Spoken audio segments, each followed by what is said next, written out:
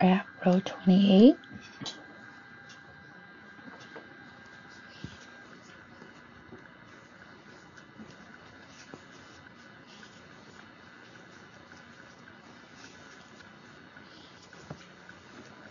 Following those lightning bars.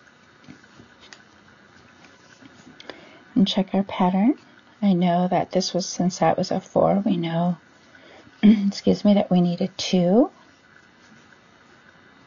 And a double turn for the four.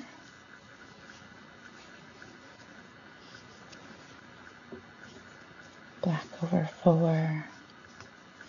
Come closer to the weaving so I could support each weave.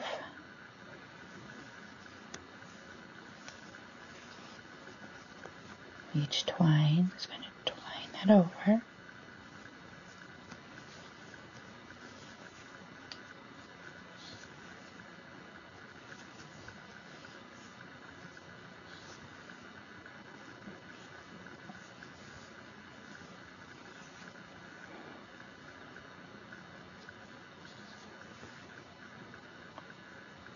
We have white over four and you notice this is our point right there.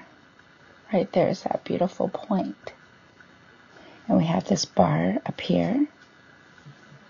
That white bar and a black bar. So we're going to do a double turn to get the white. Ending with that black over two. Grab row 27 pairs. I like to just give it a little reminder of not bunching together, coming in through the back and kind of supporting it with a little pinch as this does a double turn and